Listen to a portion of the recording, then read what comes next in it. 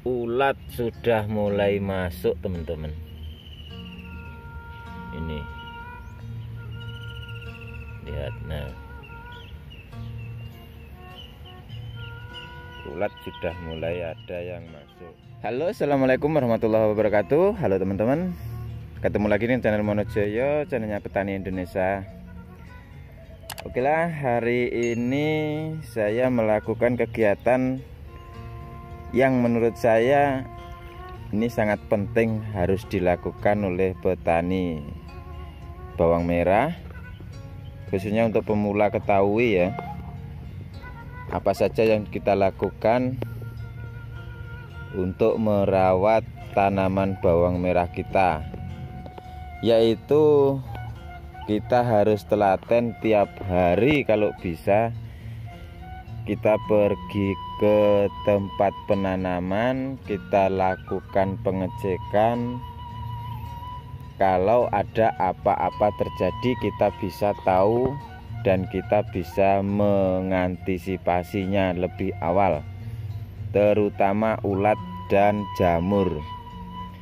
Dan lahan yang seperti ini teman-teman. Kalau pada semalam ya tadi malam ini hujan deras jadi seperti ini teman-teman. Ini harus kita kembalikan supaya tidak ini kan jatuh. Ini yang kita lakukan hal seperti ini teman-teman. Dan juga kalau ada rumput seperti ini kita buang sekali. Ya. Dan ini ini kelihatan teman-teman.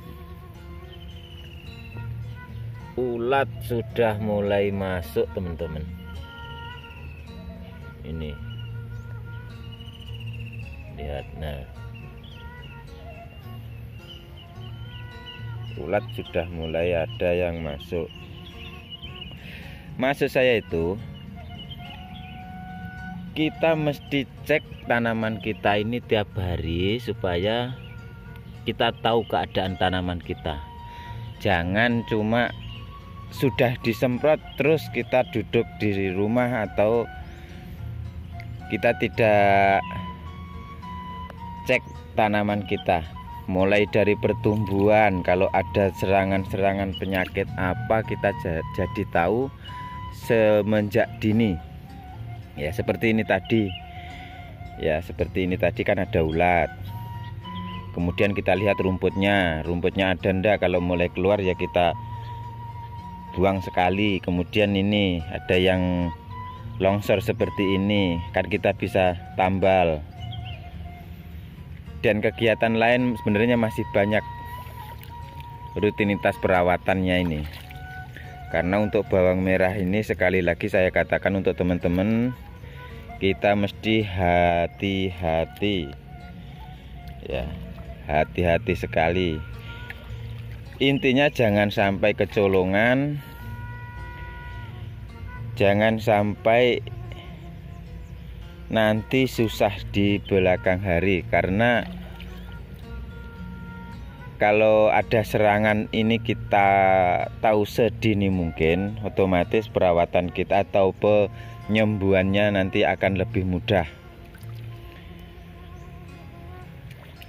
ini teman-teman kapur gampingnya masih ada yang belum anu. Kita teliti benar-benar teman-teman ya. Mulai dari pertumbuhannya gimana nanti kalau ada serangan apa. Kita bandingkan dengan umur sekian ini pertumbuhannya gimana ini sudah sesuai apa enggak dia kerdil apa enggak seperti ini mesti kita lakukan teman-teman. Kalau saya pribadi ini kalau enggak repot loh. Intinya rutinitas saya memang seperti ini. Tiap hari saya lihat saya turun ke sawah saya perhatikan benar-benar kemarin beginilah sekarang bagaimana?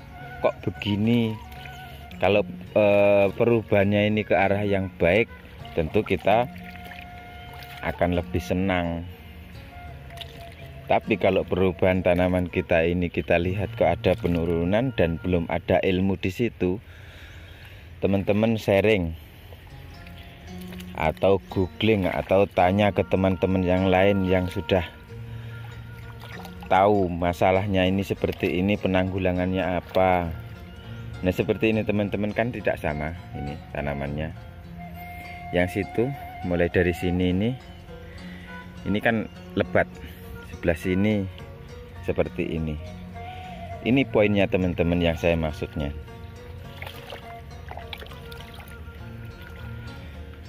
Mulai dari ini pertumbuhan batangnya ini gimana kurang apa. Karena intinya teman-teman ya bawang merah itu kalau sudah menginjak usia sekian-sekian kok belum ada perkembangan eh, batangnya kenapa lemes batangnya kenapa kecil ndak gelap ndak mau besar gemuk-gemuk nah, gitu kan. Kemudian kita cara kita ini bagaimana cara menggemukkan bagaimana cara ini kita kita intinya kita titeni lah orang Jawa bilang ini kita titeni dan seperti ini ini sudah terjadi moler di sini. Jadi kita tahu teman-teman ini satu tempat sudah ada yang moler. Kemudian kita ke sana lagi. Terus seperti ini teman-teman ya. Jangan dipikir kalau sudah tanam waktunya pupuk-pupuk waktunya semprot-semprot. Enggak. Jangan begitu teman-teman ini juga ada mulernya ya kan? Setiap ada masalah ada perubahan dan teman-teman belum tahu solusinya gimana. Teman-teman sharing eh saya, apa? Teman-teman tanya temen yang lain yang tahu soal ini apa obatnya? Seperti ini teman-teman yang saya lakukan dan ini tiap hari saya sampai sana itu teman-teman tiap hari. Dan untuk satu tempat lagi yang sudah umur 34 hari awal tadi pagi sudah saya ke sana. Dan ini yang di sebelah sini. Ini untuk pengetahuan teman-teman umurnya sekarang sudah 19-20 antara itu teman-teman lupa tadi ini sekitar 19 hari setelah tanam teman-teman.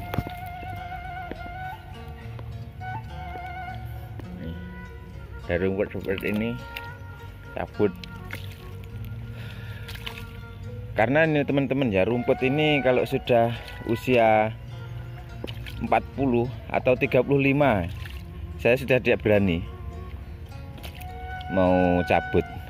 Takut mengganggu perakarannya dan ini seperti ini teman-teman. Masalahnya tanahnya kok seperti ini ini keluar lumutnya seperti ini teman-teman.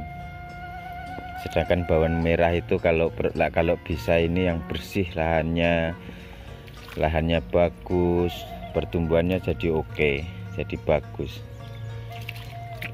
Intinya ini teman-teman maksud saya saya buat video ini adalah untuk mengingatkan teman-teman semuanya khusus untuk pemula agar jangan teledor.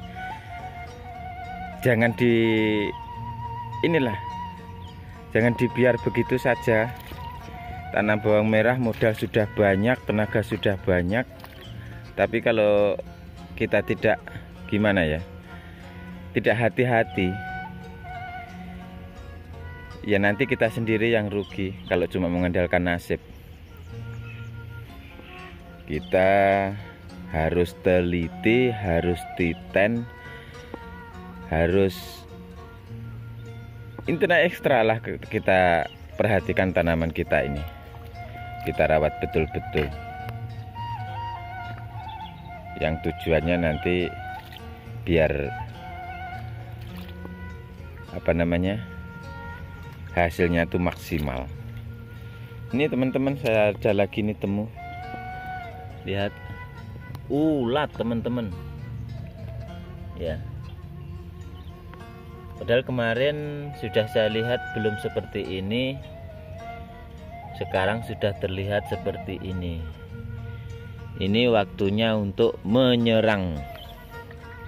Supaya ulat tidak ke mana-mana cuma di situ saja. Kita masukkan lagi obat ulatnya baik teman-teman cukup sekian. Semoga bermanfaat. Assalamualaikum warahmatullahi wabarakatuh